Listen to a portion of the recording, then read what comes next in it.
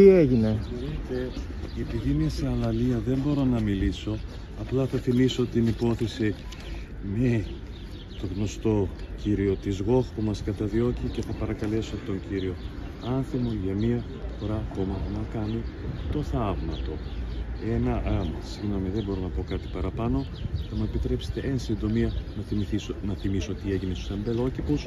Το ίδιο τώρα συνέβη εντός αστυνομικού τμήματος. Εγώ πήγα Κάνατε να αυτά που σας κατηγορούνε. Τίποτα, είμαι αθώος. Εγώ πήγα για να κάνω καταγγελία και δέχτηκα επίθεση από σκευωρία. Το τελευταίο που μπορώ να σας πω, γιατί η κατάσταση υγείας μου δεν είναι πολύ καλή, πρέπει να πάω για εξετάσεις, είναι το εξής. Στου Τι καταγγελία θέλετε να κάνετε, μέσα κύριε; Τα Τι καταγγελία θέλετε να κάνετε; νερά. Ποια γλώσσα μου μιλάνε αυτοί που μου ζητάνε